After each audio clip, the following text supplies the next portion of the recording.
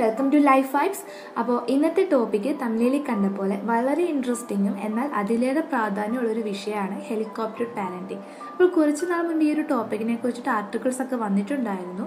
പക്ഷേ എത്ര പേര് ശ്രദ്ധിച്ചിട്ടുണ്ടെന്ന് അറിയില്ല. അപ്പോൾ ഇന്ന് എല്ലാ പാരൻസും അറിഞ്ഞിരിക്കേണ്ട ഒരു പാരന്റിങ് സ്റ്റൈലാണിത് അപ്പോൾ എന്താണ് ഹെലികോപ്റ്റർ പാരന്റിങ് എന്ന് നോക്കാം. കുട്ടികളുടെ ചുറ്റും സദാസമയം ഒരു ഹെലികോപ്റ്ററിനെ പോലെ ചുറ്റിക്കറങ്ങുകയും അമിതമായി കുട്ടികളുടെ മേൽ നിയന്ത്രണങ്ങൾ ഏർപ്പെടുത്തുകയും ചെയ്യുന്ന പാരന്റിംഗ് സ്റ്റൈലാണ് ഹെലികോപ്റ്റർ പാരന്റിംഗ് എന്ന് പറയുന്നത്. അപ്പോൾ കുട്ടികൾ സ്വയം ചെയ്യേണ്ട കാര്യങ്ങളിൽ പോലും അമിതമായി ഇടപെട്ട് പാരൻസിന്റെ പൂർണ നിയന്ത്രണത്തിൽ വളർത്തുന്ന രീതിയാണ് ഈ ഹെലികോപ്റ്റർ പാരന്റിംഗ് എന്ന് പറയുന്നത്. കുട്ടികൾക്ക് ചിന്തിക്കാനോ അല്ലെങ്കിൽ ഡെവലപ്പ് ചെയ്യാനോ അവസരങ്ങൾ കൊടുക്കാതെ ഒരു സിസ്റ്റത്തിലേക്ക് കുറേ ആർട്ടിഫിഷ്യലായിട്ട് കുറേ കാര്യങ്ങൾ നിറച്ചിട്ട് അതായത് ഒരു യന്ത്രം പോലെ കുട്ടികളെ വളർത്തിക്കൊണ്ടുവരുന്നു. അപ്പോൾ കുട്ടികളെ സ്വതന്ത്രമായി കളിക്കാൻ വിടാതിരിക്കുക അതേപോലെ കുട്ടികളുടെ പഠനം അവരുടെ ഹോബീസ് ആക്ടിവിറ്റീസ് അതൊക്കെ എങ്ങനെയായിരിക്കണം എന്നൊക്കെ തീരുമാനിക്കുന്നത് ഈ പാരൻസ് ആയിരിക്കും. അപ്പോൾ കുട്ടി ആരെയൊക്കെ ഫ്രണ്ട്സ് ആയിട്ട് തിരഞ്ഞെടുക്കണം അല്ലെങ്കിൽ കുട്ടി ഏതൊക്കെ ഭക്ഷണം കഴിക്കണം ഏതൊക്കെ ഡ്രസ്സ് ധരിക്കണം എന്ന് വേണ്ട അങ്ങനെ സകല കാര്യങ്ങളിലും നിർദ്ദേശം നൽകുന്നതിന് പകരം അമിതമായി നിയന്ത്രണങ്ങൾ ഏർപ്പെടുത്തി സ്വന്തം സന്തോഷത്തിന് അമിത പ്രാധാന്യം നൽകുന്ന പാരൻസ് ആണിവർ അപ്പോൾ കുട്ടികൾക്ക് യാതൊരു സ്വാതന്ത്ര്യവും നൽകാതെ കുട്ടി കുട്ടീന്ന് നിസാരം കാര്യങ്ങൾ പോലും അമിത പ്രാധാന്യം നൽകുന്നു. അപ്പോൾ ഇങ്ങനെ ഒരു പാരന്റിങ് സ്റ്റൈലിൽ വളരുന്ന കുട്ടിക്ക് എവിടെയെങ്കിലും ഒരു പരാജയം ഉണ്ടായി കഴിഞ്ഞാൽ അത് കുട്ടീനേക്കാൾ കൂടുതൽ എഫക്ട് ചെയ്യുന്നത് ആദ്യം പാരൻസിനെ ആയിരിക്കും. അപ്പോൾ ഇത് കാണുന്ന കുട്ടിക്ക് പരാജയങ്ങളെ അക്സെപ്റ്റ് ചെയ്യാനായിട്ട് കഴിയാതെ വരുന്നു. ഇതേപോലുള്ള പാരന്റിങ് സ്റ്റൈൽ കുട്ടികളുടെ സെൽഫ് കോൺഫിഡൻസ് നഷ്ടപ്പെടുത്തുന്നു. അപ്പോൾ കുട്ടിയുടെ ചെറിയ നേട്ടങ്ങൾ പോലും ഇങ്ങനെയുള്ള പാരന്റ്സിന് ഒരു സന്തോഷം ഉണ്ടാവുകയില്ല. അപ്പോൾ ഇത് കുട്ടീനെ കൂടുതൽ സ്ട്രെസ്സിലേക്ക് കൊണ്ടെത്തിക്കുന്നു. അതേപോലെ പിന്നൊരു കാര്യമാണ് സ്റ്റഡീസിന്റെ കാര്യത്തിലേക്ക് വരുമ്പോഴേക്കും കുട്ടിക്ക് ഇപ്പോൾ ഒരു മാർക്കോ രണ്ട് മാർക്കോ ഒക്കെ നഷ്ടപ്പെടുമ്പോഴേക്കും ടീച്ചറിനെ വിളിച്ച് അന്വേഷിക്കുക. ഇനി ടീച്ചറിന്റെ ഭാഗത്ത് എന്തെങ്കിലും ഒരു പാർഷ്യാലിറ്റി ഉണ്ടായിട്ടാണോ? ഇങ്ങനെ കുട്ടിക്ക് മാർക്ക് കുറഞ്ഞത്. അങ്ങനെയുള്ള അമിതമായ ടെൻഷനൊക്കെ അടിക്കുന്ന കൂട്ടത്തിലും ഈ ഒരു പാരൻസ് വരുന്നു. അപ്പം അതേപോലെ ഹോംവർക്ക് പ്രൊജക്ട്സ് അസൈൻമെന്റ്സ് ഒക്കെ കൊടുക്കുമ്പോഴത്തേക്കും അതൊന്നും കുട്ടീനെ കൊണ്ട് തന്നെ ചെയ്യിക്കാണ്ട് എന്താണ് ചിലപ്പോൾ പാരൻസ് തന്നെ ചെയ്തു കൊടുക്കുന്ന ഒരു സിറ്റുവേഷനിലേക്കും വരുന്നു. കുട്ടികൾ സ്വയം ചെയ്യേണ്ട കാര്യങ്ങളിൽ പോലും അമിതമായി ഇടപെടുന്നു. അപ്പൊ കുട്ടിക്ക് ചിന്തിക്കാനുള്ള ഒരു അവസരം പോലും ഇത്തരം മാതാപിതാക്കൾ നൽകുന്നില്ല.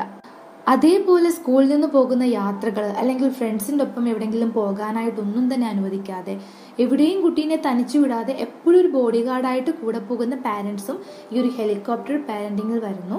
അപ്പോൾ അങ്ങനെ ഒരിക്കലും ചെയ്യാനായിട്ട് പാടില്ല. തനിച്ചൊരു സിറ്റുവേഷൻ വന്നു കഴിഞ്ഞാൽ അതെങ്ങനെ മാനേജ് ചെയ്യണമെന്ന് കുട്ടി തീർച്ചയായിട്ടും മനസ്സിലാക്കിയിരിക്കണം. അല്ലാണ്ട് കുട്ടിക്ക് എന്തെങ്കിലും കുഴപ്പമുണ്ടാകുമോ അല്ലെങ്കിൽ എന്തെങ്കിലും ഒരു പ്രശ്നത്തിൽ ആ കുട്ടി ചെന്ന് ചാടുവോ?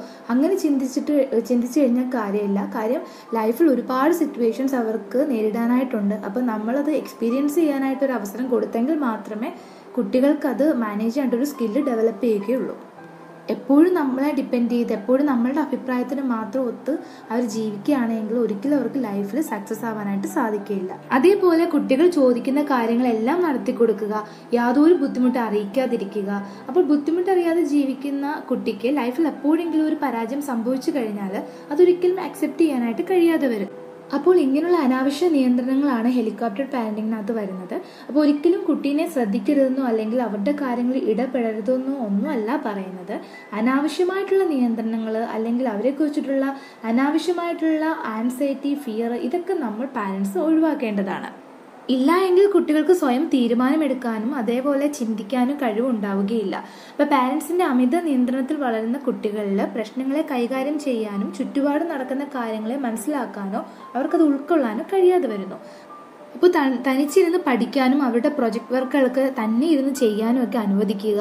അപ്പോൾ ചില മിസ്റ്റേക്സ് ഒക്കെ ആദ്യം വന്നെന്നിരിക്കും പക്ഷെ അവർ ആ കാര്യങ്ങളിൽ നിന്ന് പഠിച്ച് അല്ലെങ്കിൽ തനിയെ മനസ്സിലാക്കി എടുക്കട്ടെ. അപ്പോൾ തോൽവികൾ ഉണ്ടായിക്കഴിഞ്ഞാൽ അതിനെ നേരിടാൻ കുട്ടികൾക്ക് കഴിയണം. അതാണ് ശരിക്കും ജീവിതത്തിലെ കുട്ടികൾക്ക് എന്നല്ല ഏതൊരു വ്യക്തിക്കും ലൈഫിൽ വേണ്ട ഒരു ക്വാളിറ്റി എന്ന് പറയുന്നത് അത് തന്നെയാണ്. ലൈഫിൽ എങ്ങനെയും പിടിച്ചു നിൽക്കാനും മുന്നോട്ട് പോകാനും കഴിയുക.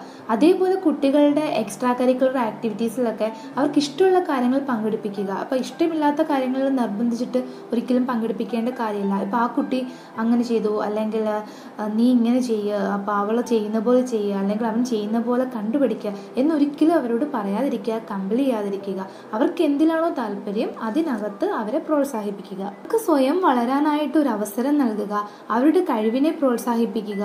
അതേപോലെ നമുക്ക് നിർദ്ദേശങ്ങൾ കൊടുക്കാനായിട്ട് കഴിയും. ഒരിക്കലും എന്താണ് നിയന്ത്രണങ്ങളല്ല കൊടുക്കേണ്ടത്. നമ്മളുടെ ഭാഗത്തു നിന്ന് നല്ല നല്ല നിർദ്ദേശങ്ങൾ കൊടുക്കുക എന്നുള്ളതാണ് അനാവശ്യമായിട്ടുള്ള സമ്മർദ്ദങ്ങൾ ഒഴിവാക്കുക. അതേപോലെ ഞാൻ പറഞ്ഞതുപോലെ മറ്റുള്ളവരുമായിട്ട് കമ്പയർ ചെയ്യേണ്ട കാര്യമില്ല. ഓരോ കുട്ടികൾക്കും വ്യത്യസ്ത കഴിവുകളാണ്. ഓരോ കുട്ടികളും വ്യത്യസ്ത കഴിവോട് ജനിച്ചവരാണ്. കഴിവില്ലാതെ ആരും തന്നെ ജനിക്കുന്നുമില്ല. അപ്പോൾ അവർ ഇഷ്ടപ്പെടുന്ന കാര്യങ്ങൾ പഠിച്ച് നല്ല മിടുക്കരായിട്ട് വളർന്നോളും. എവിടെയും ജീവിക്കാനുള്ള ഏത് സാഹചര്യത്തിലും പിടിച്ചു നിൽക്കാനുള്ള കഴിവാണ് ഏതൊരു ആൾക്കും വേണ്ടത്.